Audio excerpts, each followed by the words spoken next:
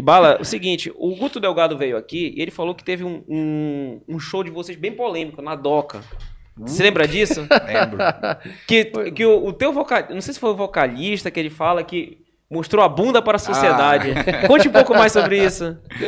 É o seguinte, é, ia ter a, a inauguração de uma, de uma boutique, de, né, uma boutique de, de roupas aí. É para do gato Do- sapato, né, inclusive, né? Isso. Do, do Mr. Mr. Giba e Miss, Mr. e Miss Giba. Miss Giba, né? Que era do Gilberto Coutinho. Era um cara considerado aqui na, na High Society de Belém, né? E ele queria inaugurar ali, fazer uma super inauguração na frente do Gato Sapato, que era o bar da moda na época, né? A O Gato- Doca, do, É, é, do, era um bar. Domingos Marreiro com Doca, não é isso? Domingos Marreiro Isso. com Doca. É. É, tá certo. Então era, era um Esquina. bar top É, né, master das galáxias ali em Belém. Era o ponte da galera ali, né? Agora, ele, ele queria fazer um show ao vivo, com desfile de modas, né? Com, com uma, uma banda tocando. Agora ele queria uma banda de rock. Então nós éramos a, a- praticamente a única referência de banda de rock em Belém, né? E ele chegou num, ensaio nosso lá e disse: Ó, pô, me, me informaram que vocês são uma banda muito doida e tal. que- e a gente quer uma banda muito doida para fazer no, nosso desfile. E vai ser na frente do Gato Sapato, tal, tal, a gente vai dar uma aparelhagem legal para vocês. Vai ter um som, vai ter iluminação legal, tal. Pô, a gente tudo que a gente queria, né? Moleque, né? Bora, tá, tá fechado. Aí chegou lá, é, a gente achava que o público ia ficar perto da gente. Mas quando a gente chegou lá, eles fizeram um isolamento na frente do palco, né? E colocaram umas mesas com cadeiras para High Society, né? As madames, os, né? Alta os- sociedade, né? Sociedade de Belém Fizeram, toda fizeram lá uma área. VIP, né? Uma área Pra- VIP, bem Society bem na frente do palco. É, é, o, o palco era o seguinte: sa- saía uma passarela bem na frente do Gato Sapato, assim, que chegava bem em cima do canal, e ali em cima do canal abria um palco, né? Pá, muita onda, né, Era cara? muita onda.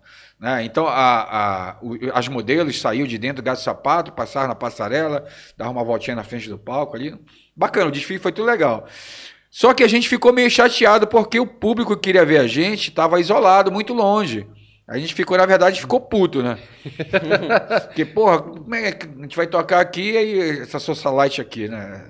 Porra, aí. E pior que tava as mães dos caras das bandas, né? Ah, lá, a mãe do Leonardo Renda, o Pedro Renda, que era da fábrica Renda Priori aqui, né? A família Chamon e tal. só a galera, toda- né? Galera lá na Rádio Society, todo, todos lá. E aí, aí o cara chegou, o, o um dos produtores lá chegou pra gente, olha, quando for abrir o desfile, a gente vai, vocês têm de dizer assim, está chegando o verão, era um desfile de verão, né? É, tá chegando o verão, aí a gente ficou pensando assim, porra, que onda, tá chegando o verão, isso é muito cocota pra falar um negócio Como é que a gente vai sacanear esses Fala caras? pra cacete, né, mano? Pô, cocota total, esse é o linguajar da época. Cocota. Cocota não era bacana. Pô, não, mas a gente vai dizer de uma forma pauleira. Tá legal, tá legal. uma poleira. É. Aí eles, descontraídos lá, deram, deram lá umas biritas pra gente. A gente não tá acostumado a britar, a gente já ficou meio doido também. E aí vai abrir o show, né?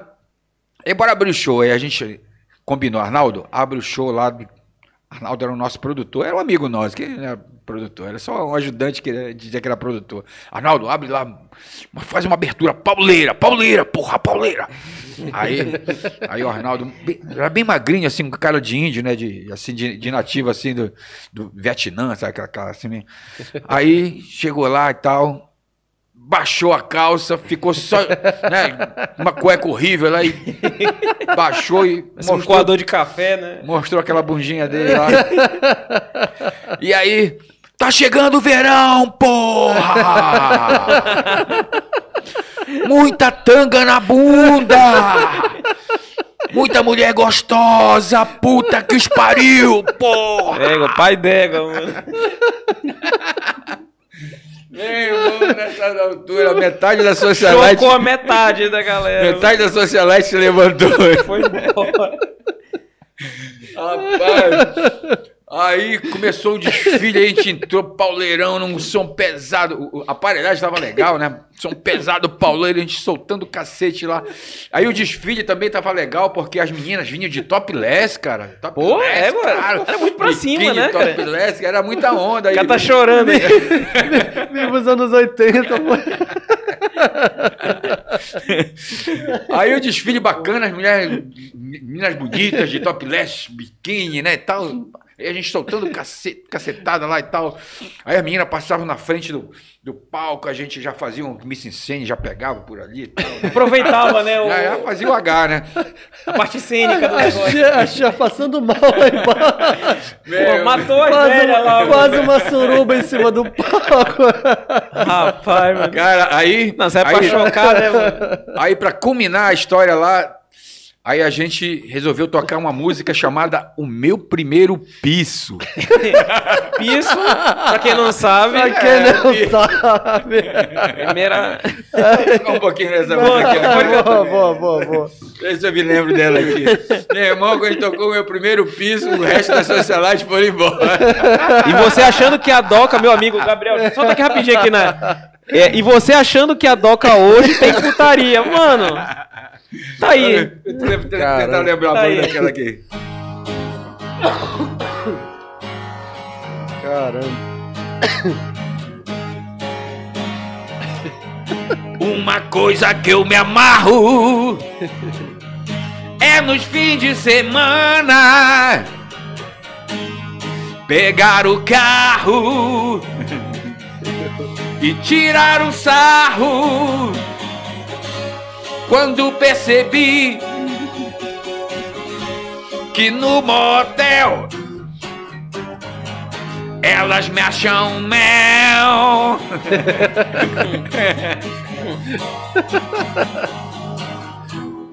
Ela dizia: Para com isso! E eu respondia: Vamos dar um piso. Meu primeiro piso. Vamos dar um piso. Meu primeiro piso. Convidei a garota para o cinema. Mas o azul do céu desviou-me pro motel no meio da estrada. Ficou desconfiada, mas ela estava tarada.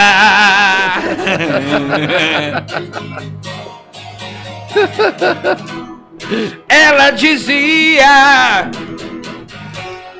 Para com isso! E eu respondia: Vamos dar um piso. Meu primeiro piso. Vamos dar um piso. Meu primeiro piso.